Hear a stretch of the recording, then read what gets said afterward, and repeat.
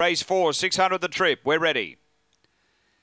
And on their way, very good speed. Lady Viximar out deep. It's looking to cross. It's going to. So Lady Viximar into the straight leads the first time. Goldie's run the late mail a length away. Closing, tipping Woody out wider. G running up behind them. McIver Gordon uh, getting a check there. G she rocks. And behind those next, McIver Gordon got spat out the back a bit. Benji Girl was in front of it. So too is Marcado down the back. And tipping Woody's racing up to go with Goldie's run. Uh, Lady Viximar was next. And then came Lady Shanna. Uh, then G she rocks on the turn.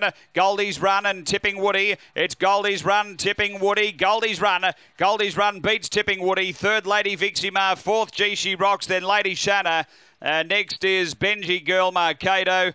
And McIver Gordon winding up back at the end there. The uh, time, it's around uh, 36 seconds on the clock at the moment after uh, race number four.